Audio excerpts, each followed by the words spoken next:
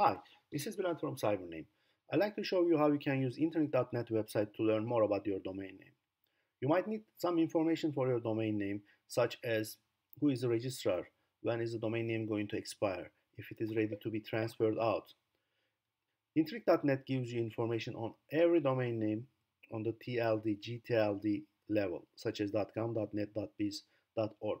It does not work for other domain names such as .trade, .bid, or new GTLDs or .ca. So you can use internic.net in order to obtain information for your .com, .net, .org domain names. In that situation, in that case, I like to show you how you can learn the registrar of your domain name and when your domain name is going to expire. In order to access that information, after you open the page at internic.net, click on search WHOIS button. In this example, I like to use the domain name angelisa.com and click submit button. After you click submit button, it takes around 10 seconds and the next page will show you more details about this domain name that you can rely on. This domain name, which is angelisa.com, is controlled by the registrar SiberName Internet Software Technologies that Incorporated, which is sibername.com, with the register ID 938. Name servers tells who is the service provider or that domain name. If it was sibername.com name servers, I will be able to tell you that these are the domain names we also provide service for.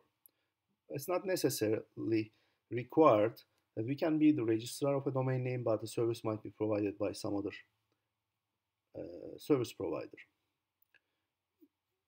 In order to change domain name details, but you need to contact this company. If you have a problem with your website and emails, this is where you start your trace to the service provider company. It is not necessarily the service company will be vsign.com because some uh, some companies can use different domain names. But in our case, we always use SiberName in our name servers. And status, client transfer prohibited. Uh, let me reverse this. Sometimes you might even see different name servers, but service still can be provided by SiberName. So, but this is a starting point to find out who is your service provider for your domain name. Sometimes it might be obvious if you go to vsign.com, you might see a service provider. That's the company you need to contact for hosting or email. Sometimes not, but a quick search should give you the company name for that domain name. Status shows if the domain name is ready to be transferred out, mean that to change the registrar, you might want to change your registrar to another provider.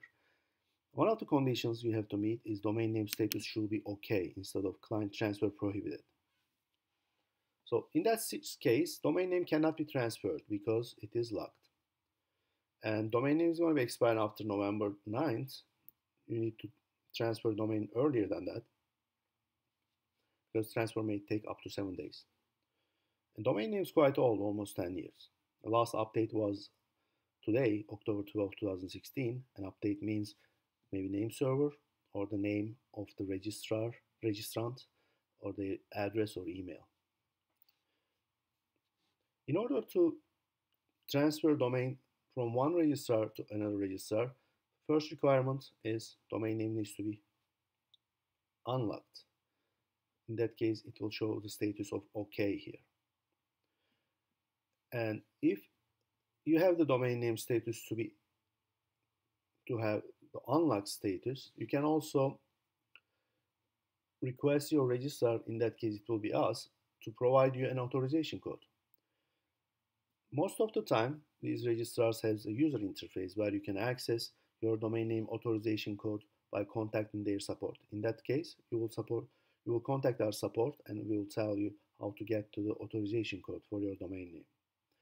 Another small detail to transfer domain name out to another registrar is domain name needs to be older than 60 days. Means that if you register a domain name today, you need to keep that domain with the current registrar for another 60 days. Then you can start your transfer to another registrar if you need to. These are restrictions uh, implemented by ICANN, I-C-A-N-N, and main reason being to protect domain names to be stolen. This is a summary of how to use internic.net to access domain name details. For other extensions such as .ca, I will go and use the registry website at cira.ca and find who is on their website.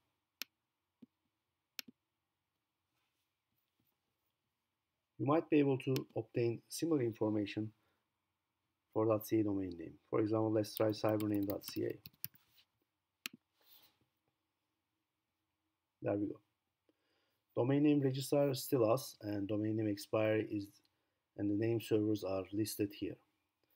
This is if you are going to check for your .ca domain name. Let's see if it shows a domain name status. It does not. Oh, on this register. There are other statuses that needs to be checked, such as the domain is locked or not, and it's not displayed here. Another tip, if you want to access to an extensions uh, detail website, most of the time they start with NIC and ends with the extension name. In that case, say nick trade.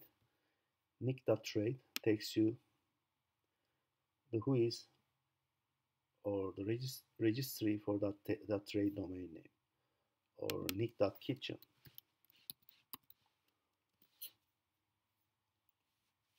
It will take you donuts.co which is the registry for that domain name. May work for maybe 80% of the domain extensions. It does not necessarily work for every extension, but basically it's NIC domains. It's going to also send you to donuts.co because these domains are managed by the registry called Donuts. Again, for .com, internic.net,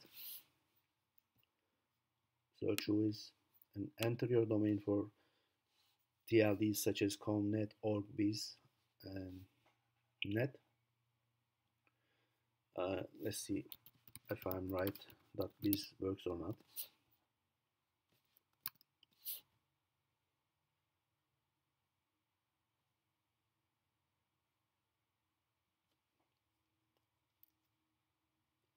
It works for .biz as well.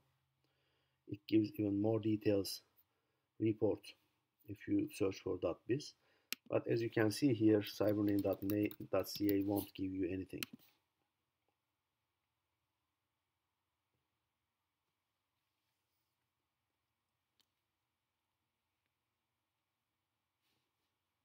No match for domain.sibername.ca because this website does not serve for that extension.